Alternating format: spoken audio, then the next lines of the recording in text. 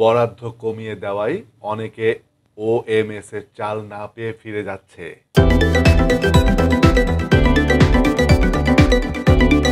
নতুন ধান উঠেছে, বিভিন্ন স্থানে চলছে নবান্ন উৎসব।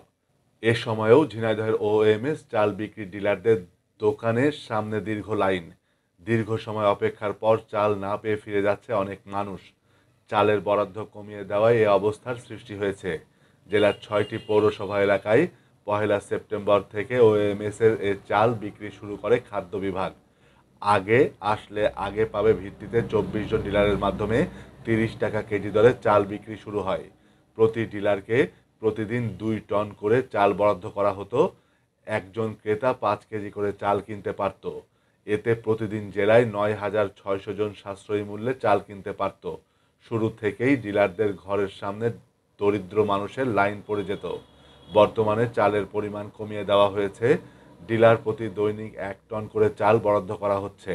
একজন ডিলারের কাছ থেকে দুশো জন চাল কিনতে পারছে। প্রতিদিন রাত থেকে ডিলারের দোকানের সামনে লম্বা লাইন পড়ছে আর লাইনে দাঁড়ানো অর্ধেক মানুষ চাল না পেয়ে ফিরে যাচ্ছে।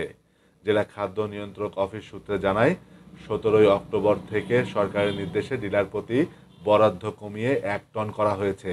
এই জন্য চাহিদা মেটানো সম্ভব হচ্ছে না।